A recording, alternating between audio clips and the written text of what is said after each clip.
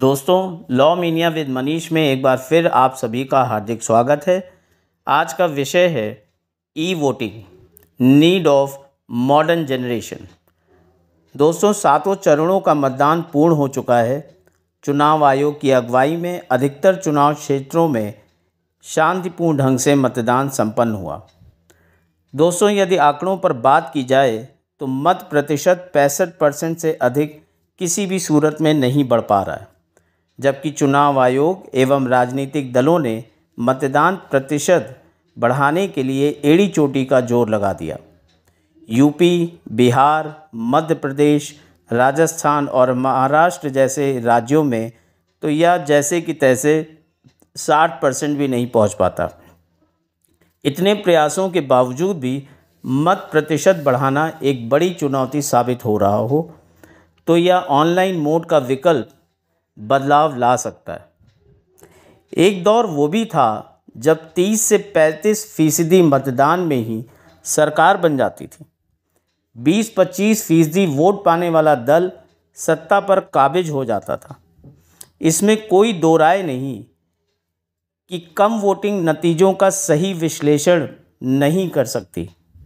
E voting की बात करना अब ज़रूरी हो गया दोस्तों, ऑफलाइन के साथ ऑनलाइन मोड का विकल्प कारगर साबित हो सकता है। इससे लोकतंत्र के पर्व में ज़्यादा से ज़्यादा लोगों की भागीदारी हो सकती है। अगर आपको याद होगा, एक समय पे जब ईवीएम को इंट्रोड्यूस किया गया था तो एक स्टेट असेंबली इलेक्शन में छोटे स्तर पर धीरे धीरे उसको इंट्रोड्यूस किया गया। फिर आगे जाके पूर्ण रूप से लोकसभा इलेक्शन में इसको लेके आए।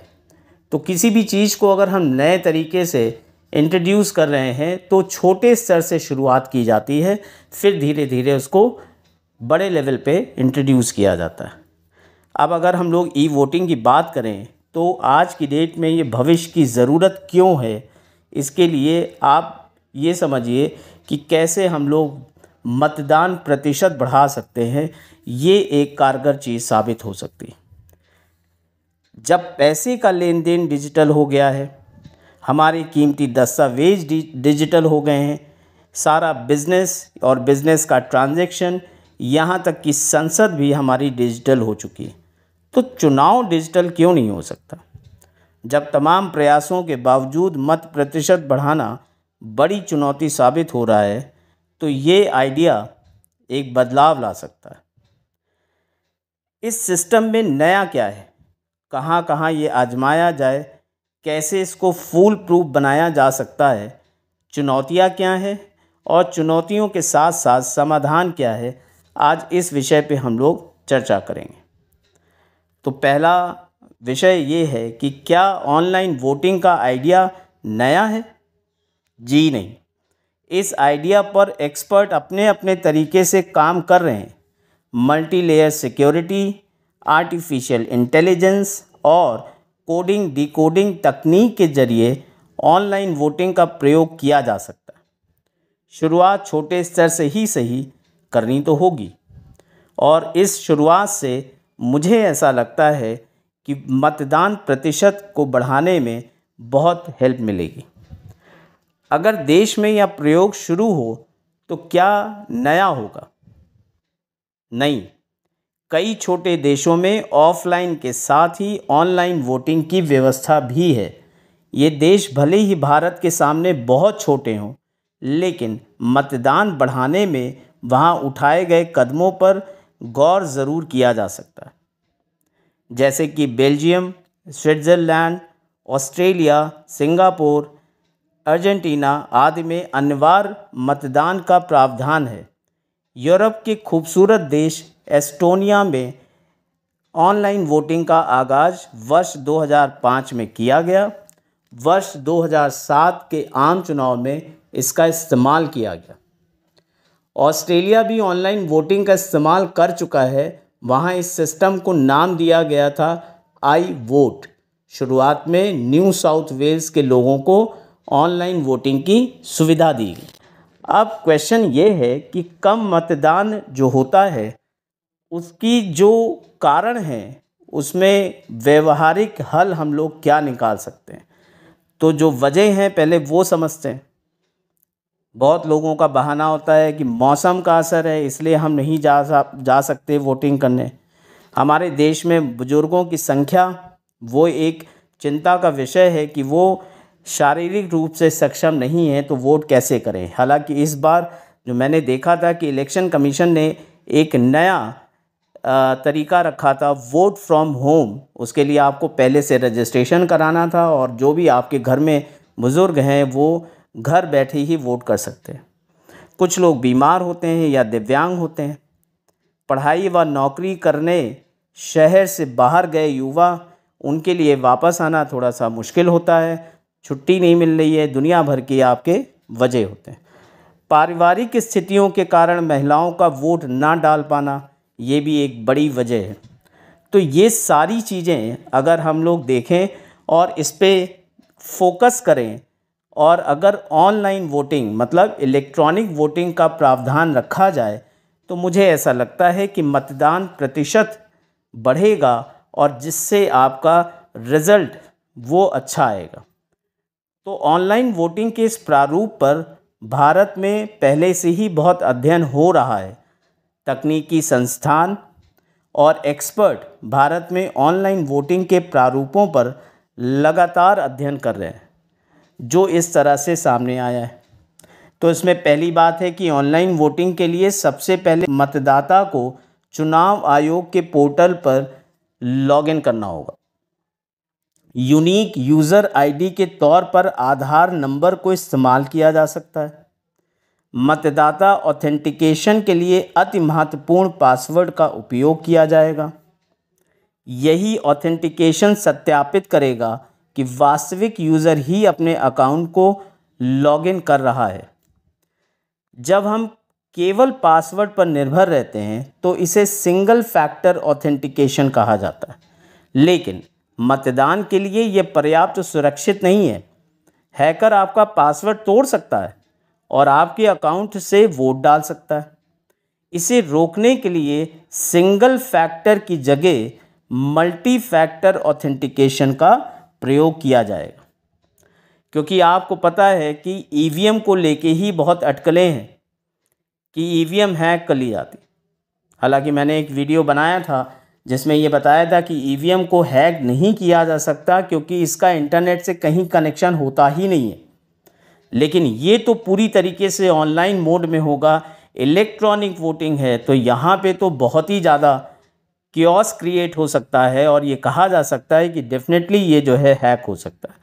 तो इसलिए मल्टी फैक्टर ऑथेंटिकेशन का प्रयोग किया जाना चाहिए।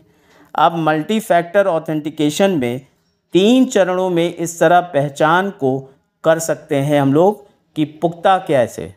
जैसे कि ऐसा कुछ जो वोटर के पास है यानी उसकी पहचान बताने के लिए ATM card RFID card, digital driving licence, smart token आदि चीज़ें। दूसरा, ऐसा कुछ जो केवल वोटर खुद जानता हो, जैसे कि password OTP PIN number, unlock pattern, सुरक्षा संबंधित प्रश्न, ऐसे कुछ। तीसरा तरीका, बायोमेट्रिक की व्यवस्था आप कर सकते हैं, यानी शारीरिक पहचान, अंगूठे का निशान रेटिना डिटेक्शन फेस आइडेंटिफिकेशन इस तरीके से आप इसको मल्टी फैक्टर ऑथेंटिकेशन में सेफ़ रख सकते हैं। अब बात आती है कि ऑनलाइन वोटिंग को सुरक्षित कैसे बनाया जा सकता है। तो इसके लिए हम लोग ये कर सकते हैं, जैसे ऑथेंटिकेशन वन में बात की तो यूज़र आईडी यानी आधार नंबर से लॉगिन ऑथेंटिकेशन टू में हम करेंगे मज़बूत दस अंकों का पासवर्ड ऑथेंटिकेशन थ्री में हम करेंगे रजिस्टर्ड मोबाइल नंबर पर ओटीपी ऑथेंटिकेशन फोर में हम करेंगे यूज़र को सही पैटर्न बनाना होगा. तीन मौके मिलेंगे उसके लिए. अगर गलत कर दिया तो गया. ऑथेंटिकेशन फाइव में सुरक्षा प्रश्न का उत्तर. तो ऑथेंटिकेशन सफल होने के बाद ऑनलाइन वोटिंग, वोट डालने की अनुमति। अब क्वेश्चन ये आता है कि हिंदुस्तान जैसे देश में बहुत सारी चुनौतियाँ होती। तो वो क्या हो सकती हैं? हम लोग थोड़ा सा उस पर डिस्कशन करेंगे। चुनौतियाँ, जो मेन दो तीन हैं, हम उस पर बात करेंगे और आपको ये बताएँगे कि उसका समाधान क्या हो सकता। क्योंकि चैलेंजेस हैं, चुनौतियाँ हैं तो उसका सॉल्यूशन या समाधान भी है। तो पहली चुनौती जिस हम बात करेंगे, भारत में आज भी हर जगह इंटरनेट नहीं है और बड़ी संख्या में लोग तकनीकी रूप से सक्षम भी नहीं है। तो अब इसके लिए हम क्या कर सकते हैं? तो समाधान ये हो सकता है कि जब भी हम किसी नई तकनीक को अपनाते हैं तो बैकवर्ड कॉम्पेटेबिलिटी के सिद्धांत को अपनाते हैं। मतलब आसान शब्दों में कहें तो इस नई तकनीक को विकल्प के तौर पर आजमाते हैं। ऑनलाइन वोटिंग एक विकल्प के रूप में दिया जाए, खासकर उन लोगों के लिए जो घर से दूर हैं, बुज़ुर्ग हैं, बीमार हैं या फिर दिव्यांग तो इसका हल निकल सकता है सॉल्यूशन ये हो सकता है। जो सक्षम हैं, जा सकते हैं वोट करने, वो जाके वोट करें। चुनौती नंबर दो मतदाता किसी लालच में लॉगिन करने के बाद किसी दूसरे से वोट डलवा सकता है। ऐसे में निष्पक्ष मतदान प्रभावित हो सकता है। तो अब इसका सॉल्यूशन क्या है? इसका समाधान ये है कि इसके लिए आर्टिफिशियल इंटेलिजेंस और जेस्चर रिकग्निशन टेक्नोलॉजी बेहद कारगर हो। वोटिंग के दौरान यूज़र को अपना वेबकैम ऑन करना होगा। एआई उसके चेहरे को स्वतः सरकारी डेटाबेस से मैच कराएगा। जेस्चर रिकग्निशन तकनीक की वजह से किसी और की उपस्थित में मतदान संभव ही नहीं होगा। तो ये चुनौती का समाधान इस तरीके से किया जा सकता है। अब तीसरी चुनौती यह है कि किस पार्टी को वोट दिया? ये साक्ष्य दिखाकर मतदाता पैसा वसूल सकता है। तो अभी इसका क्या समाधान हो सकता है? कि ऑनलाइन वोटिंग में वोट डालते ही डिसेबल यानी अदृश्य हो जाएगा। उसका ना तो प्रिंट स्क्रीन लिया जा सकेगा और ना ही स्क्रीनशॉट चूँकि अदृश्य है तो मोबाइल से फ़ोटो लेने पर भी स्क्रीन खाली दिखेगा। तो ये कुछ आपकी जो चुनौतियाँ समझ में आती हैं कि हो सकती हैं और उसके ये समाधान हो सकते हैं। एक और मज़ेदार बात है। अभी जो चुनाव हुए हैं 2024 मतलब अभी रिज़ल्ट आना बाकी है। आज शाम तक में शायद रिज़ल्ट आएगा। तो ऑनलाइन वोटिंग का एक सबसे बड़ा जो फ़ायदा होगा, मैंने सुना था कि इस बार 2024 के लोकसभा इलेक्शन में करीब साठ हज़ार करोड़ रुपए का खर्चा आएगा ये एक अनुमान था। तो अगर आप ऑनलाइन वोटिंग करवाते हैं, इलेक्ट्रॉनिक वोटिंग करवाते हैं तो ये अनुमान लगाया जाता है कि ये खर्च घटकर 10 से बारह हज़ार करोड़ रह जाएगा। इससे देश भर में मतदान प्रक्रिया तीन दिन में पूरी हो जाएगी। राजनीति को लेकर उदासीन युवा पीढ़ी सक्रिय भागीदारी बढ़ाएँगी। तो दोस्तों, आशा करते हैं कि आपको हमारी ये ओपिनियन या ये रिसर्च अच्छी लगी होगी? और मैं आशा करता हूँ कि इलेक्शन कमीशन नेक्स्ट इलेक्शंस में इस पे जो है बेशक जो है काम करेगा और इलेक्ट्रॉनिक वोटिंग को धीरे धीरे छोटे स्तर पे इंट्रोड्यूस करके और लोकसभा इलेक्शन तक ले जाएगा। थैंक यू दोस्तों। Keep learning keep watching law mania with Manish